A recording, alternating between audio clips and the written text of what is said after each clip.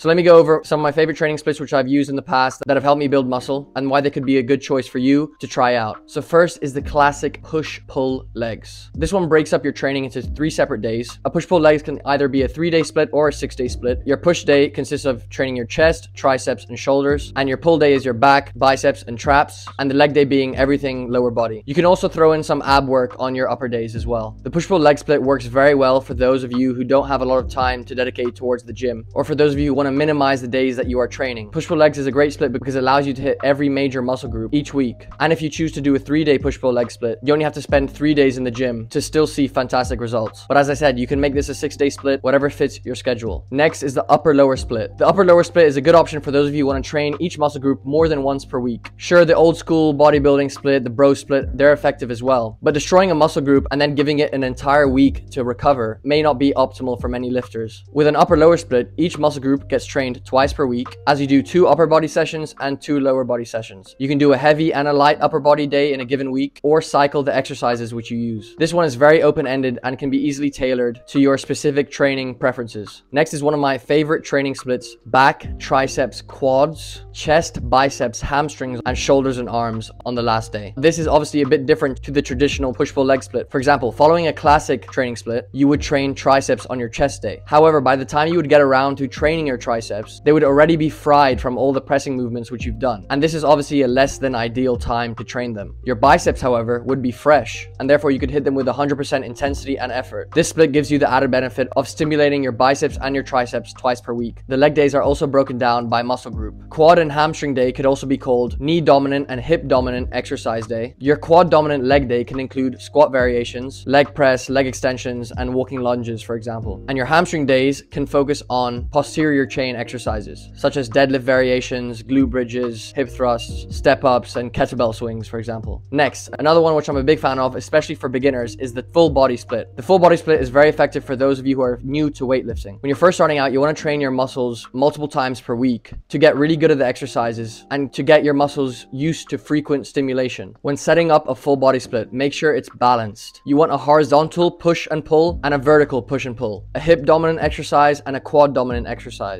and an abdominal exercise. For example, a good workout would consist of a dumbbell chest press, chin ups, seated shoulder press, bent over rows, squats, deadlifts, and a plank variation, for example. And finally, the power and hypertrophy split. If you want to train for both strength and size, this is a great split to use. Essentially, you start off your sessions with the three big lifts in attempt to get stronger at those lifts. And I would say from personal experience, try aim to hit six reps on your squat, bench, or deadlift before you move up in weight. And after that, you'd follow this up with a bodybuilding training session. So training for hypertrophy, training to build muscle, consisting of isolation exercises, higher rep ranges. So the best split for building muscle ticks a couple of boxes. The first one being the most important. How quickly, how well are you recovering between your sessions? Protein synthesis peaks in around 36 to 48 hours after training. So this means your muscles are generally ready to train again after that 36 to 48 hour window. And assuming you recover well, I would suggest that you train a body part once every three days. This generally translates to twice a week, which is on average the optimal frequency for most lifters. So if you train your chest on Monday and it is fully recovered by Wednesday, there's no reason to wait another week to train it. But the opposite is also true. If you train chest on a Monday and you're following some random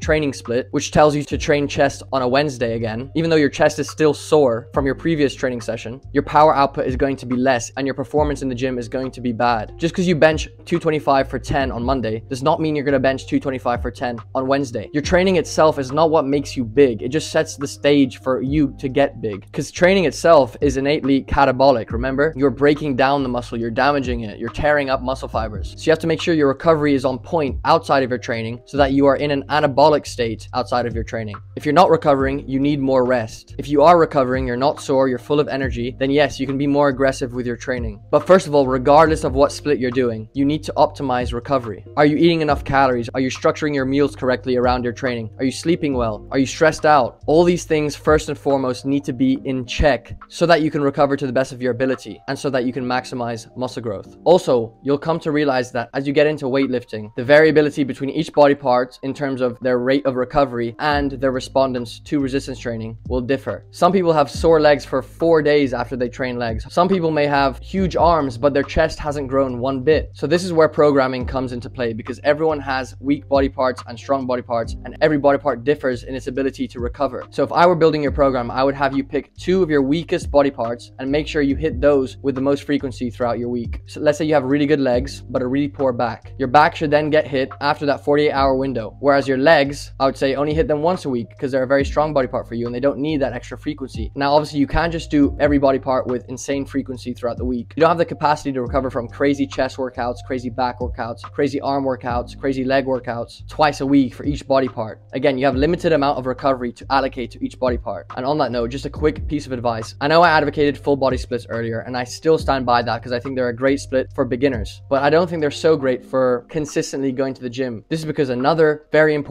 factor when it comes to your training split and which training split you should choose and how you should structure your training split is do you enjoy it? And when it comes to whole body splits, they're just not that fun. The reason being, your pumps aren't going to be great. And this is a big deal. The pump is what makes training fun. That feeling is probably the biggest reason why you're excited to work out. So if you're doing one chest exercise, then one back, then one arms, then one quads, your pump is not going to be good. I would say allocate enough volume to drive as much blood into one muscle before you move on to the next. Next, as I mentioned earlier, please understand that there is no such thing as the perfect split. I don't care if some TikTokers six week hypertrophy program 3 by 12 4 by 12 is optimal for gains. Do not be fooled, bro. The reason these amazing physiques that you see on TikTok, on Instagram, who are trying to sell you training programs, who are trying to give advice on training and tell you what the best way of training is, they don't look like that because of their training split. This is something you need to understand right now, bro. They do not look like that because of their training split, but because of his or her top tier genetics and or the unfathomable amount of D-bol he is deep throating on a daily basis. Now, all these splits you see online may work fantastically for you, but they may not.